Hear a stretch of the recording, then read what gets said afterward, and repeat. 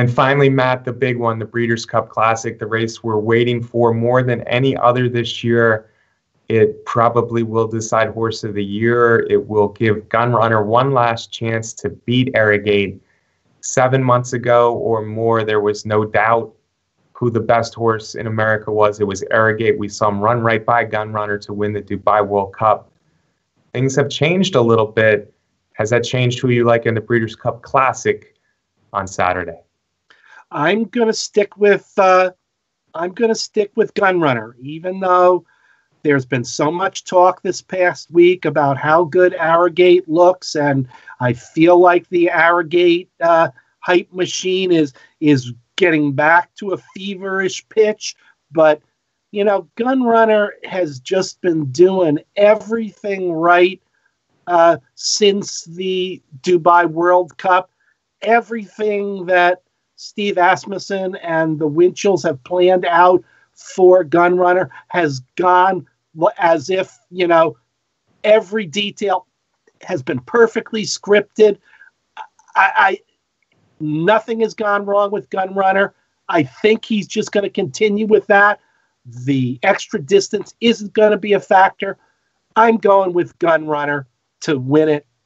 My second choice in the race is West Coast uh, because there's part of me that believes that Baffert's best horse in this race is West Coast, and I'm going to put Arrogate in third, and that might be a nice exacta.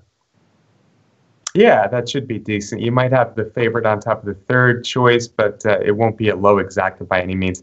Matt, I'm with you. Gunrunner, Gunrunner. Listen, Gunrunner's been getting better all his career. He's always been near the top. I, I just think now he's he's moved to the top. These are athletes, and and and you see athletes in every uh, sport uh, just improve and come up to things perfectly. And as, Matt so eloquently stated, Gunrunner's done that. He's just getting better and better. Everything's gone right for him. I don't think the mile and quarter matters at all for him at, at this point in his career. He's a really, really good, mature four year old. He wouldn't have been touched, obviously, in any of those recent races if they were a mile and a quarter or more. I'm convinced of that there is the uh, the there is the thought that maybe Baffert uh, gangs up on Gunrunner a little bit early, sends collect Adam or collected Adam, or maybe even West Coast Adam early. We'll see, but I think Gunrunner's gotten to the point now where he's moving in the right direction ever since the second in the Dubai World Cup, and he is America's best horse. I think Gunrunner wins this Breeders' Cup Classic. I still respect Arrogate the, mo- the most of the Baffert horses, and I think Baffert would say the same thing especially at a mile and a quarter. So Arrogate is my number two and the most uh, dangerous horse to Gunrunner supremacy here as on his march to the Horse of the Year title. So Gunrunner one, Arrogate two, the big two, one two. I do fear West Coast, probably most of the Baffert, uh, the other three Baffert horses. So I respect your pick uh, of him second. He is a danger in here. I think Gunnevera could rally in, but I just think Pavel is is the horse that's uh, moving forward the quickest. I like the fact that he trained over Del Mar this summer very well. That's why they decided to make this crazy trek that he did to the East Coast with the Jim Dandy, the Smarty Jones, and the Jockey Club Gold Cup in his second, third, and fourth career races. Pavel is a serious talent. This might be a little bit too much too soon, but I think we're going to see a very good performance out of Pavel. So he's my third pick and my top long shot in the Breeders' Cup Classic.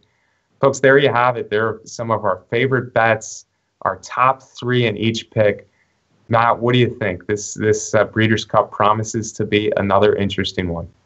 It certainly does, and I'm looking forward to going to Del Mar for the first time uh, this year. So, if any of you Horse Center fans are there and you know the ins and outs of Del Mar, uh, and you see me around, please say hello and show me your favorite spots at the San Diego racetrack you're going to enjoy Del Mar, Matt. It's it's truly one of my favorite tracks uh, in the country.